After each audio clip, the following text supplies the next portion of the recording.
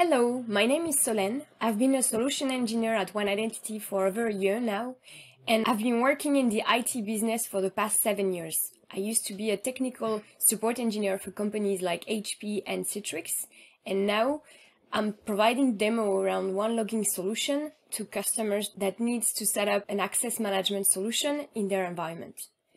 Today, I will tell you about the great integration we can achieve between Active Roles and OneLogin. Active Roles and OneLogin are a natural fit since they both work with Active Directory. Active Roles is a great management tool for AD and Azure AD administration. It will help you simplify administration and account lifecycle management, and it will regulate admin access by providing delegated permission to specific user. For example, you want to give access to your help desk user to the account unlock functionality, but they don't need to have access to the whole AD. For your HR team, you want to make sure they can create user in your Active Directory, they can remove user from Active Directory, they can change their job title and department in case someone is changing job inside the company, but they don't need to have access to anything else. So Active Roles will really help you ensuring AD data integrity and compliance by providing the right permission to the right people. We can also extend manageability beyond Windows devices to AD join environments, including Unix, Linux, macOS, and SaaS application. OneLogin, on the other hand, is a cloud access management solution that will provide an SSO portal for all your application and secure access using various MFA. Using a role-based access control model, OneLogin ensures that your users only have access to the application they need and nothing more. By using a Vigilance AI running in the background, OneLogin can perform a risk-based assessment thanks to our Smart Factor module.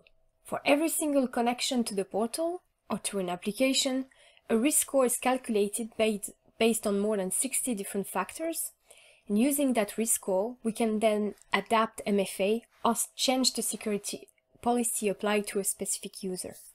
Finally, we can ease the lifecycle management process by automating lots of tasks for onboarding and offboarding of users. The benefits of those two solutions working together are as follow. Integrating Active Role with OneLogin will increase efficiency and productivity of your users. Whether they are your normal employee or your IT department, HR employees, everyone will find this integration helping on all those day-to-day -day tasks. Active Role will help you adopt a least privilege model by strengthening overall security and enforcing your zero trust security framework. Using role-based access control and the real-time synchronization when logging as with AD, we will ensure that users and administrator have only the right access to the right resource and nothing more. This slide will show you a simplified architecture of the integration of those two products together. Active Roles is connected to AD and will help you manage AD. You can create user, you can remove user, you can delegate permission. Then using a connector installed on a domain join server, OneLogin will have a direct connection and a real-time synchronization with AD, meaning every time a user is created, updated, or removed from AD, OneLogin will be aware of this information and will be able to adapt the application assigned to that user thanks to mappings that automate all the processes. Now let me show you some technical demos of what we can do with this uh, integration. The first one concerns the onboarding of users through active roles into Active Directory. Due to time constraint, I won't be able to show you the offboarding process, but you will see that the logic is the same. Thanks to the real-time sync, when we onboard a user into Active Directory, the user will be available in OneLogin. The same logic applies for offboarding. When the user is deleted from Active Directory, the access are revoked and the user is deleted from OneLogin as well. Let me show you. Let's have a look at a real example of onboarding a user through Active Roles. Here, as you can see on the top right corner of my screen, I'm logged in as a help desk user, meaning I have access to a new user form to onboard a new user. I simply have to fill in the basic information like first name, last name, email address would be populated automatically. Then I need to make sure I set the new user to the right department and I assign the right job title because remember, OneLogin uses a role-based access control model and department and job title would directly affect the application this new user would be assigned. And finally, I need to set the right user location that will directly affect the security policy assigned to that user. As a remote user, you won't have the same security rules as an office user. I can manually add an application. This is completely optional as most of the applications are assigned to the role. And finally, I'm gonna set a password. We can generate one and ask the user to change it on first login, but for demo purposes, we need to know the password to log in as Tom at a later stage. That's it. My new user Tom has been created into Active Role. If we open Active Directory and refresh, we should see a new user has been created into the Germany OU. Tom is here. We have the basic attributes synchronized, first name, last name, email address, job title and department. And if we have a look at the group he's a member of, we can see he's now part of the Google group, meaning he will be assigned the application Google. Thanks to the real-time sync that OneLogin has with Active Directory, as soon as Tom has been created into Active Directory, he has been synchronized with OneLogin, and OneLogin has been able to retrieve the, all the attributes from Active Directory. So if we open Tom's detail, we can see his first name, last name, email address, the department, is from, the job title he has, and the group he is a member of. If we go into authentication, we can see the one login group he has been affected to, and the associated security policy that is related to the fact that he is a remote user. Now into the application tab, we can see the different application he has been assigned, thanks to the roles he is a member of. As you can see on the right, we have four roles that are grayed out and assigned through mappings with a little gray arrow. But we can also see that Tom has been provisioned into Google Workspace. And inside the application itself, we can see that he has been added to the team marketing group and to the Germany OU. This is all done through the mappings working in One OneLogin. Now, the same logic would apply if Tom is changing job inside the company. Here, my helpdesk user is going into Tom's profile and is going to change his department from marketing to finance and change his job title as well. This will directly affect the application it will be assigned and they will be updated according to the new job and department. We can also manually remove some application. Here it doesn't need Salesforce anymore.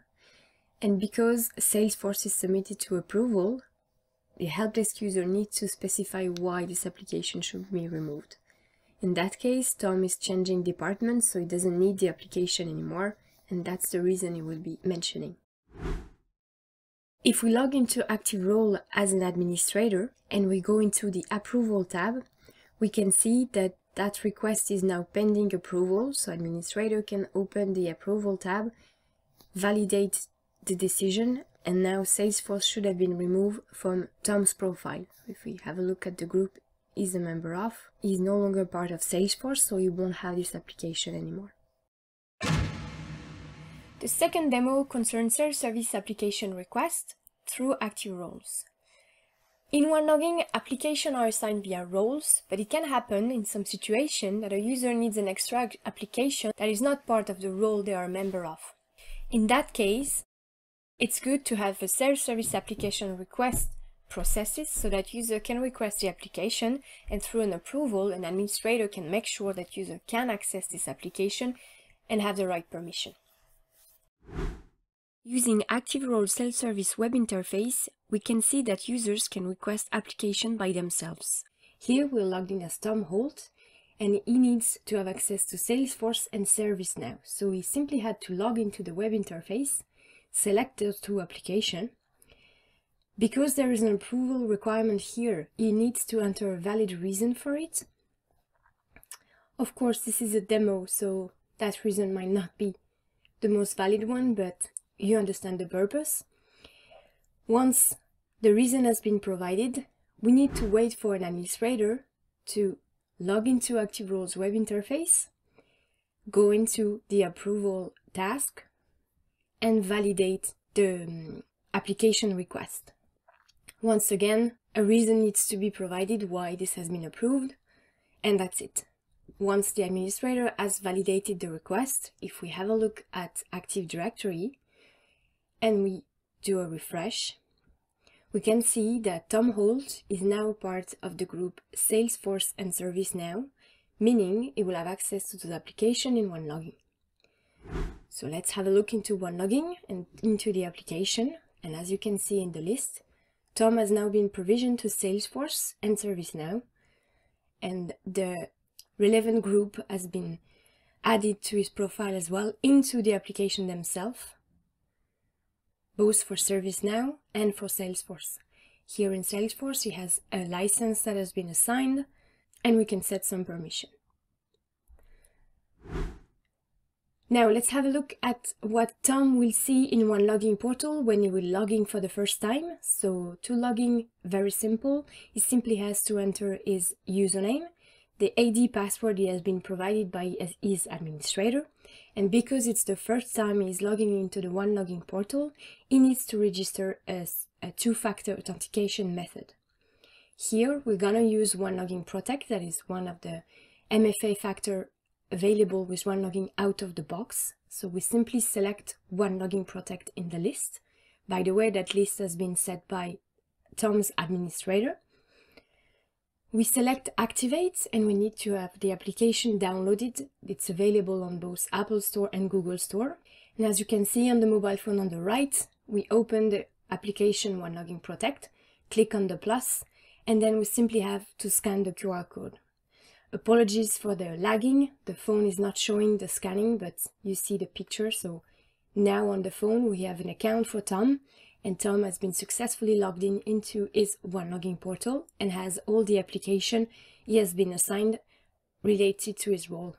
If we want to open an application, we simply click on the tile and it's going to be authenticated automatically. That's it. Single sign-on has been set for both Google Workspace and Salesforce, so no need to re-enter credential. Tom can access the application straight away. Now that I have shown you all the, the, capabilities that we have at the moment, let me tell you about what will come in the future. At the moment, ActiveRoles doesn't support SAML, so we cannot add MFA on top of the web interface, and we cannot integrate ActiveRoles into OneLogin portal. Well, we can do it, but it requires a little bit more work because we need to install a secure token server in the middle that will speak SAML to OneLogin and connect to ActiveRole. In the future, with SAML, we won't need that secure token server in between and we will be able to achieve MFA and single sign-on. Let me show you what it will look like. First of all, let's have a look at the connection to a web interface of, in ActiveRole when MFA has been, in, has been set up. To simplify the demo, I have set a shortcut on the desktop for ActiveRole web interface. As you can see, when we want to connect, we are redirected to OneLogin for authentication.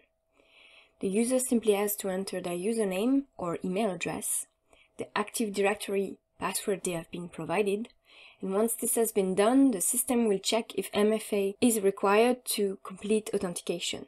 It is the case here, so the user is receiving a push notification on his phone simply has to accept the notification, validate the biometrics, and then he will be able to access ActiveRole web interface, which is great to secure access, especially for administrator. Now, we'll have a look at the authentication process of a user when they want to access ActiveRoles if the application has been integrated into single sign-on portal. To show you how Active Role web interface can integrate into the single sign-on portal of OneLogin, I simply have to log into my OneLogin portal, same process as before, username or email address, Active Directory password, then the system check if MFA is required. Once again, it's the case here. So using OneLogin Protect, the user is receiving a push notification on his phone and has to validate biometrics once again. Once this has been done, user will have access to is OneLogin portal and as you can see there is a tile for ActiveRole. Now we simply have to click on this tile to open Active Role Web Interface and no need to authenticate again since we have already done so to access the portal. Thank you for your time and interest in this session.